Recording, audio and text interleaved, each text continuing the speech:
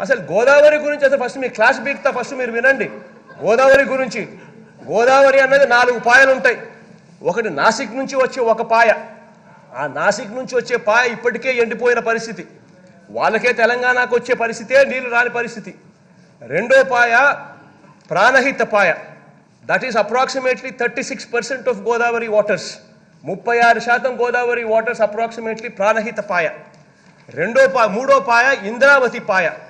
Indravati ఫాయ్ approximately twenty six percent of Godavari waters రెండు Pranahita and Indravati alone constitute approximately sixty five percent of Godavari waters ఈ రెండు పాయలు ఎక్కడున్నాయి అధ్యక్ష? ఈ రెండు పాయలు తెలంగాణ రాష్ట్రంలో ఉన్నాయి. మనకున్నది ఏంటి అధ్యక్ష గోదావరిలో?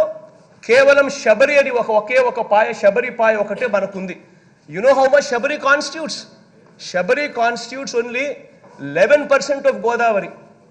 అంటే కేవలం మనకుండే పాయ ఏదైతే మనకు వస్తా ఉన్న పాయ ఏదైతే ఉందో మన రాష్ట్రంలోకి ప్రవహించే పాయ ఏదైతే ఉందో Sabari that is only eleven percent of Godavari. చూస్తే దాంట్లో గోదావరి నుంచి కేవలం ఐదు వందల టీఎంసీలు మాత్రమే శబరి పాయ నుంచి మనకు మనకు మనకు కిందికి వచ్చే మనకి గోదావరికి మనకు నీళ్ళు వచ్చే పరిస్థితి. మిగిలినదంతా కూడా చూస్తే Pranahita thirty six percent Indravati twenty six percent రెండు కలిపితే దాదాపుగా అరవై ఐదు శాతం పాయలు తెలంగాణ నుంచి కిందికి వాళ్ళు నీళ్ళు వదిలితే తప్ప నుంచి మనకు రాని పరిస్థితి అధ్యక్ష ఇవాళ. మన కళ్ళ ఎదుటనే చంద్రబాబు నాయుడు గారు ముఖ్యమంత్రిగా ఉండగానే ఈయన ఇక్కడ ముఖ్యమంత్రి ఉండగానే మూడు టీఎంసీల నీళ్ళు లిఫ్ట్ చేసుకొని అటు నుంచి అంటే వాళ్ళు తరలించుకొని తీసుకొని పోతా ఉంటే మన రాష్ట్రంగా మనం ఏం చేయగలిగాము అని చెప్పి నేను అడుగుతా ఉన్నాను. ఇదే చట్టసభలో ఇదే ము- గత గత ముఖ్యమంత్రిని అడుగుతా ఉన్నాను. ఎవ్వడం ఏమి చేయలేని పరిస్థితి అధ్యక్ష.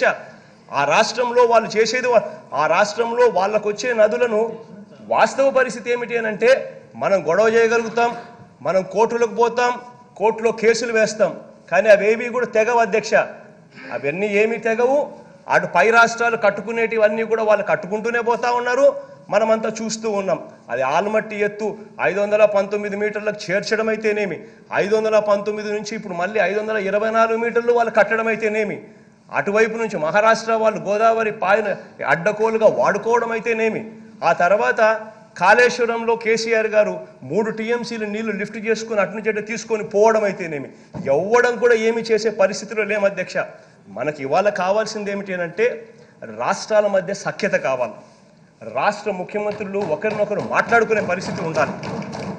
రాష్ట్ర ముఖ్యమంత్రుల మధ్య సఖ్యత ఉంటే రాష్ట్ర ముఖ్యమంత్రులు కలిసి పనిచేసే గుణం ఉంటే అప్పుడు ఏదైనా డెవలప్మెంట్ అనేది జరుగుతుంది.